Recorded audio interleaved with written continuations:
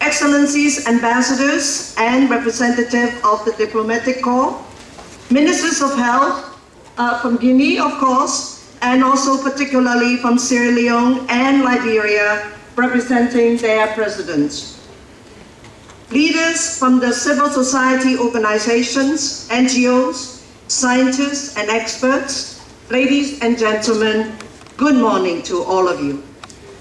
I have come here, first and foremost, to thank the governments of Guinea, Liberia, and Sierra Leone, your healthcare workers, your scientists, and your people, under the leadership of the President, for triumphing over the Ebola outbreak, and so that have severely devastated your countries for so long. And I want to also to thank the international partners for their support and collaboration. President Alpha Conde, I hope you remember our meeting some time ago. To be exact, 1st of May 2014. On that occasion, you have asked WHO, me directly, to support Guinea to work with other partners to develop an Ebola vaccine. I have done so.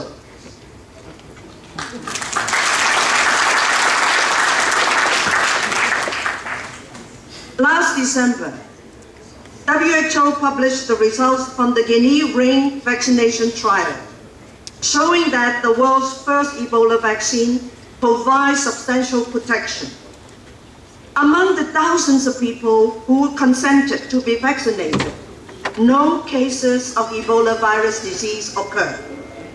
The vaccine trial was exceptional for several reasons. It used a novel design focused on a ring of epidemiologically linked people. One of the strategies that WHO used in the past and successfully eradicated smallpox. The study design ensured that the trial took place in pockets of the population with a high incidence of Ebola infection and a high risk of further transmission. A deliberate decision was made to tailor the logistical challenges in the implementation of the trial to the local conditions. For those scientists who've been you know, familiar with clinical trials, you know how challenging the local context is. The close collaboration with and the support from the Guinea national authorities was a catalytic factor in the successful implementation of the clinical trial. The conditions were challenging. The healthcare system, as we all know, in Guinea was strained by the outbreak. Potential trial participants were worried they were worried about a candidate vaccine made by foreign people, and the response teams were facing security issues. The study showed the ability of the international team, in collaboration with colleagues in Guinea, to gather efficacy data for an Ebola vaccine during an outbreak in a developing country with the associated limitations in healthcare infrastructure. Truly, this is a remarkable achievement. Several media outlets described the publication of the vaccine trial results as the best news given to the world in 2016. Scientists do not yet know exactly where in nature the Ebola, Ebola virus hides between outbreaks, but nearly all experts agree that another outbreak of Ebola is inevitable. When this occurs, ladies and gentlemen, the world will be far better prepared. As a novel approach for Ebola control, ring vaccination can be added to the established control measures. The strategy can have a significant impact, even if supplies of vaccines are initially limited. And on this, I wish to thank Gavi for supporting a stockpile of Ebola vaccines in WHO for emergency use, subject to further work uh, by the company, of course, in this case, Merck, uh, to seek, um, you know, licensing approval. Health and medical professions will have something to offer to those who have been exposed to the virus, either in households or healthcare facilities, which goes beyond isolation and quarantine.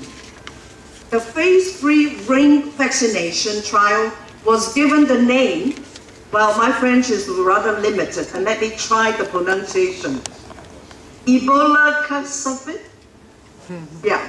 And in English, it means Ebola, that's enough. I am certainly, you know, I'm certain that, you know, everyone in the three countries affected felt that they had had enough of Ebola. By collaborating in vaccine trials, your people, I pay tribute to all of them, fought back, and you win the battle. I agree with the media. A safe and efficacious Ebola vaccine was the world's best gift during 2016. I thank scientists from Guinea, the Guinean National Medicine and Regulatory Agency, and the National Ethics Committee. Your support was critical, critically important for the international team. Apart from funding provided by WHO herself, yes, WHO actually is quite a poor organization in terms of finance, but we still, President Alpha because of your request, we squeezed a, bit, a little bit of money to support uh, the uh, clinical trial. And the trial actually also benefited greatly from the generous financial support by the UK Wellcome Trust, the UK government, MSF, the Norwegian Ministry of Foreign Affairs, and the Canadian government.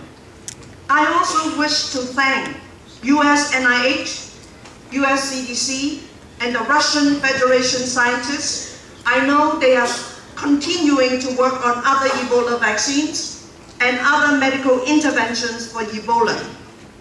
Ebola, there are many lessons to be learned by all of us. One such lesson is the power of partnership and the power of collaboration. So ladies and gentlemen, honorable ministers, the contribution of your collaborative efforts goes well beyond, you know, just delivering a Ebola vaccine. There are many spillover effects. Let me just give you one. During the Ebola outbreak, WHO acquired extensive experience in facilitating research and development for new medical products, supported by numerous governments, public and private entities, and scientists. Thanks to that support, the Ebola vaccine was developed and tested in 12 months as compared with the 5 to 10 years usually needed for such a process if you take it in a sequential manner. However, at that time there was no formal framework in place to coordinate the efforts of all the partners and actors